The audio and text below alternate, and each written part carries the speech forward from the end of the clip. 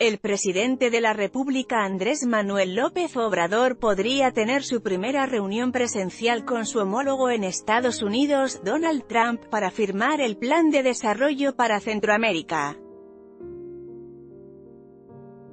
Anunció que ya presentó al primer mandatario estadounidense el tratado por el que enfrentarán el fenómeno migratorio.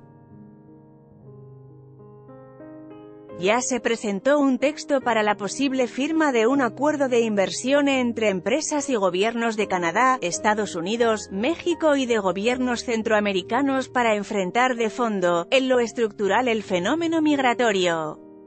Comentó que los tres gobiernos del TMEC, Tratado México, Estados Unidos, Canadá, así como el empresariado, invertirán y generarán empleos en Centroamérica y nuestro país.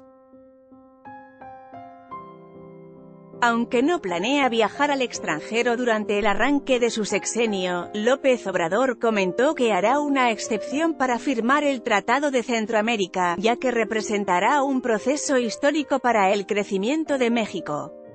No tengo pensado salir del país, estamos trabajando el inicio de la transformación, el inicio de los programas, si fuese necesario, si se tratara de la firma de un convenio, para este propósito, voy a viajar.